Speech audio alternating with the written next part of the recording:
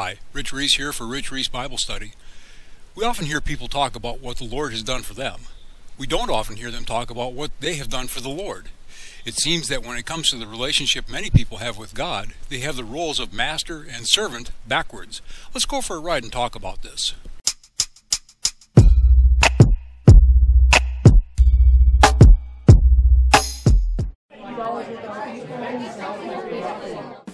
We hear it all the time, read it on social media. I'm so blessed. And we often see folks turning to the Lord for relief. We pray for healing, we pray for financial security, we pray out of fear, we pray out of desperation. And when our prayers are answered, we pray out of gratitude. But mainly, we pray about us, speaking either of what God has done for us or, more often, what we wish He would do for us. How often do we pray to be shown how to serve Him?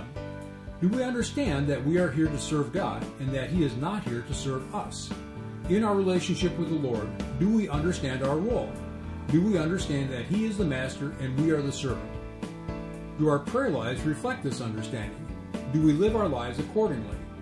This desire to be served by God is common among Christians. People are all the time telling us how they're praying for some sort of divine resolution for some sort of earthly frustration. They drum up support by asking others to pray with them or for them. It's not enough that they are spiritually weak and cannot trust God to care for them. It's not enough that they are constantly beseeching God to deliver them from worldly concerns. They want to draw others into their spiritual wasteland. When was the last time you saw someone trying to invoke a prayer chain among their friends that they be shown the way to selflessly serve the Lord? Have you ever seen that? And it's not just individuals. Churches are guilty of this as well. They do this with prayer circles and a call for concerns to be brought before the Lord in prayer during the service. Many tout faith healing. Most provide services for everything from retirement planning to parenting to marriage counseling. Many have outreach programs and offer social services. These are good things, yes, but I've never attended a church with workshops on how to be a servant of the Lord. I'm sure they're out there, but I've never seen one. And if such a workshop exists, and if the outcome of attending that workshop is that I decide how to serve God, the workshop has failed. It's still all about me. I retain control. I am showing God my holiness. I'm not allowing God to show me my mission. I make my choice of how to serve and then create my plan to pursue my choice. I, me, mine. Where does God come in? Who's defining my purpose, me or the Lord?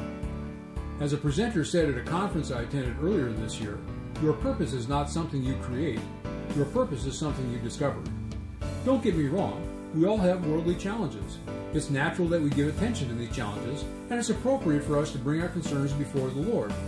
But this should not form the substance of our prayer lives. These are not our challenges to manage if we have true faith in God. This is neatly summed up in John 16:33 where Jesus said, "In the world you will have tribulation, but take heart, I have overcome the world." I used to have tons of challenges. Now I have just one. My challenge is to serve the Lord better each day. The rest of my challenges I gave to Him. When it comes to challenges and scripture related to them, we can all cite a few verses regarding healing or peace or prosperity. Who hasn't recited Jeremiah 29:11? For I know the plans I have for you, declares the Lord, plans to prosper you and not to harm you, plans to give you hope and a future. We can all think of ways ask God what we want from Him. How many of us can cite verses describing what God asks of us? Let's look at a few. And now, Israel, what does the Lord your God require of you? But to fear the Lord your God, to walk in all his ways, to love him, to serve the Lord your God with all your heart and with all your soul, and to keep the commandments and statutes of the Lord which I am commanding you today for your good. Deuteronomy 10, 12 through 13 from the ESV.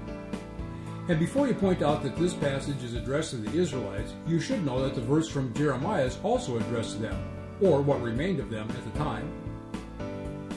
Now therefore fear the Lord and serve him in sincerity and in faithfulness.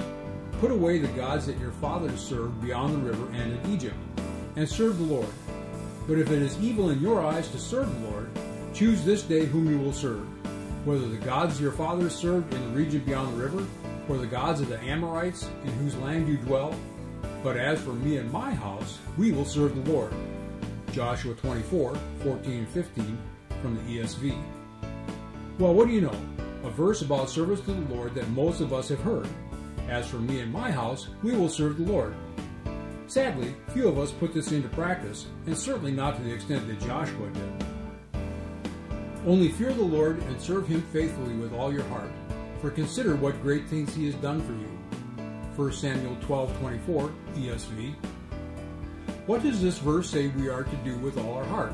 Beseech God, trust him to deliver us from our financial predicament, pray that he intervene in our nation's politics? No, we are to serve him faithfully with all our heart. Serve the Lord with fear and rejoice with trembling. Psalms 2:11 ESV. Does this describe the nature and emotional intensity I feel in my relationship with God? It should. Then Jesus said to him, Begone, Satan, for it is written, You shall worship the Lord your God, and him only shall you serve. Matthew 4:10 ESV. Jesus cites scripture to rebuke Satan in this passage where Satan tempts him three times. Jesus' final retort was sharp enough that then the devil left him. When I'm being tempted, do I respond with scripture as Jesus did? And do I cite scripture that identifies my role as servant to God and to Him only? Let's go back to that I'm so blessed statement for a minute. Most folks who say this, if challenged by being asked, by whom are you blessed, would be unable to respond. It's trendy to make the claim of being blessed without really thinking about the mechanics of being blessed. Christians, at least, understand that God is the source of their blessings. The Bible is full of God's blessing on nations, tribes, and individuals.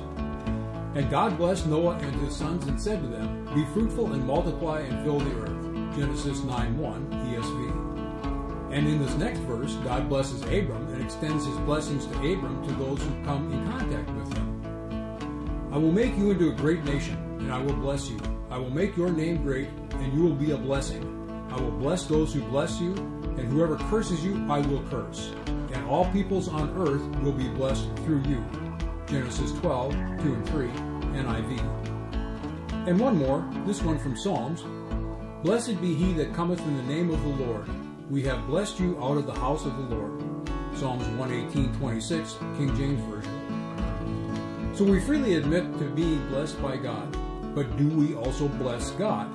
We are called to do so in several places in Scripture. Let's look at a few. And you shall eat and be full, and you shall bless the Lord your God for the good land he has given to you. Deuteronomy 8:10 ESV. And David said to all the congregation, Now bless the Lord your God. And all the congregation blessed the Lord God of their fathers, and bowed down their heads and worshipped the Lord and the King. 1 Chronicles 29:20 King James. I will bless the Lord at all times. His praise shall continually be in my mouth. Psalms 34:1, King James. Blessed be the Lord God, the God of Israel, who only doeth wondrous things. And blessed be his glorious name forever. And let the whole earth be filled with his glory. Amen and amen. Psalm 72, 18 through 19, King James. Bless the Lord, O my soul, and all that is within me, bless his holy name. Psalms 103.1 ESV. But we will bless the Lord from this time forth and forevermore. Praise the Lord. Psalms 115, 18, King James. This is where the version of the Bible you're using makes a difference. Some newer versions, such as the NIV, translate the original Hebrew not as bless, but as praise. Look at Psalms 96.2. In the King James it reads, Sing unto the Lord, bless his name, shew forth his salvation from day to day. In the NIV it reads, Sing to the Lord, praise his name, proclaim his salvation day after day. But then Psalms 145.10 has a different word translated as praise, and the one translated as bless is the one used in that way in other verses. All thy works shall praise thee, O Lord, and thy saints shall bless thee. Psalms 145.10, King James. Certainly we bless the Lord by praising him and keeping his name holy. But that's not what we expect from God when we ask Him to bless us. What we want is for God to intervene in our lives, to do something that improves our quality of life, something that gives us joy. God has no need for us to intervene in His life, but we can still bless God by doing things that give Him joy. Like what? Look at these verses. But Samuel replied, Does the Lord delight in burnt offerings and sacrifices as much as in obeying the Lord? To obey is better than sacrifice and to heed is better than the fat of rams. 1 Samuel 15:22 NIV. His pleasure is not in the strength of the horse, nor his delight in the legs of the warrior. The Lord delights in those who fear him, who put their hope in his unfailing love. Psalms 147, 10 through 11, NIV. We do well to remember the first part of Hebrews 11:6. Without faith, it is impossible to please God. So let's remember who is the servant and who is the master. And let's remember that Jesus said we can have only one master. No one can serve two masters, for either he will hate one and love the other, or he will be devoted to one and despise the other. Matthew 6:24 ESV. And when we get to heaven and are in the presence of God, how do we want that conversation to go? Do we want to dominate the discussion by thanking Him for finding a way for us to afford that vacation for our 20th anniversary? Or healing our nephew's broken arm last year? Or getting our old car to start so we could make it to the job interview that got us our first job out of college? Or do we want God to praise us for all the times we heard the still small voice and responded with obedience? Do we want to hear the words of Jesus from Matthew 25 23 as he tells us, Well done, good and faithful servant? enter into the joy of your master. So it was a good ride. Thanks for joining me. As I edit this, I'll have other thoughts and some verses and some other stuff that I'll add to our Patreon page. I'd love to hear what you have to say. Put your notes in the comments below. Thank you for joining me on my walk of faith. Love the Lord, love one another. I'll talk to you soon.